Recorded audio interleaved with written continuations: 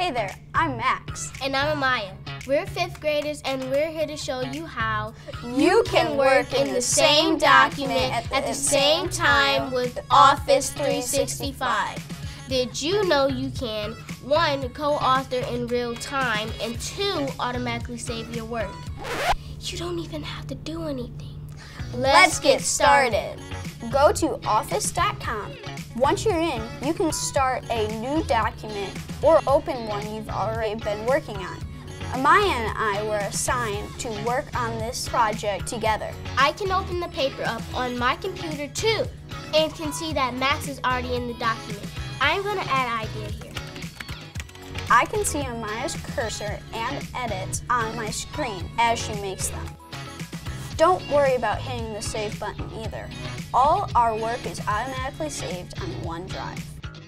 When I go back to office.com, it's there so I can work on it more when I'm at school, home, or even soccer practice. Real-time co-authoring is also available in PowerPoint and Excel.